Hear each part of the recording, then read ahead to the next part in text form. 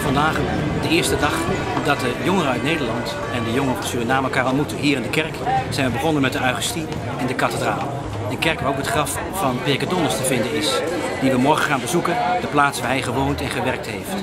Het thema van de Wereldjongerendagen hebben we ook uitgediept. Gaat uit en maakt alle mensen tot mijn leerlingen. Uit het Matthäus-evangelie, opdracht van Jezus zelf. We moeten eerst zelf leerlingen zijn en geraakt door het evangelie om anderen te kunnen raken met het woord van God. En dat moet ook met woorden en daden. Dat kun je in het leven van Pirke zien. Dat zie je ook in het evangelie van afgelopen zondag, van deze zondag, waarop de barmhartige Samaritaan opneemt voor de man die langs de weg ligt en krepeert. Hij is de naaste van de man in nood. Zo mogen wij met woorden van liefde en daden van geloof mensen tot leerlingen van Jezus maken.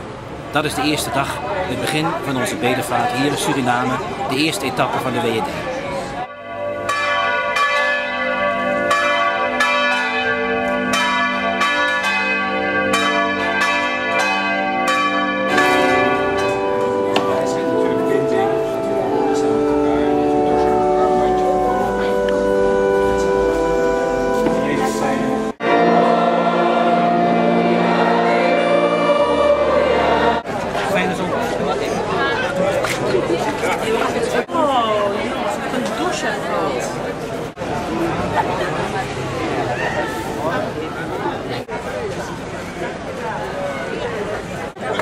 Het moet heel veel plezier nog.